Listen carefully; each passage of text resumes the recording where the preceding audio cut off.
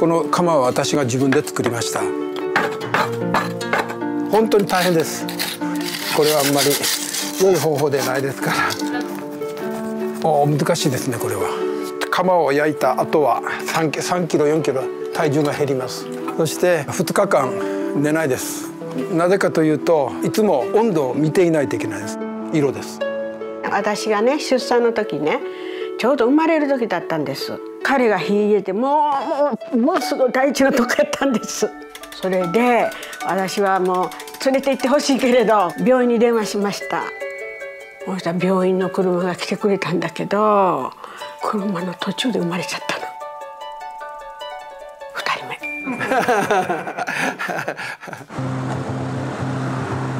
私は玉屋康生です。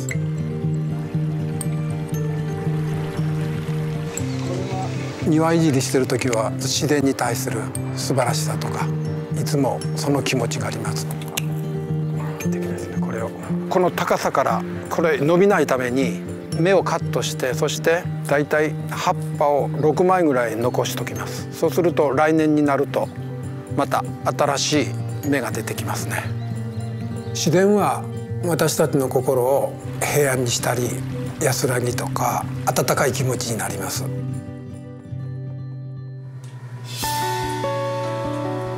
柔らかい土は自分の心で置き換えた時に素直な気持ち良いことであれば受け入れることができてそして自分の生活の中に取り入れようという。しっかり押さえてくださいね。指で親指でこう。親指でね。そう。親指で押さえてくださいね。彼1週間のうちに3日間ここ働きます。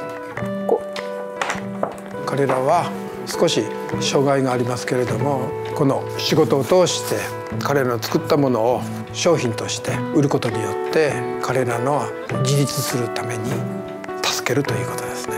じゃあこれをここにこう塗ってくださいこれで。誰でもどんな人でも障害持っていても必ず一つか二つ才能があります。でその才能を見つけてあげるそういう助けをしています。すごいね。おお見せて。あいいです。OK 私は彼らに陶芸を教えることによって彼らが成長するのを見るのが好きです。バランスを保って生活することは人生を豊かにします。私はランナーです。私は芸術家ではないです。私は職人です。はい。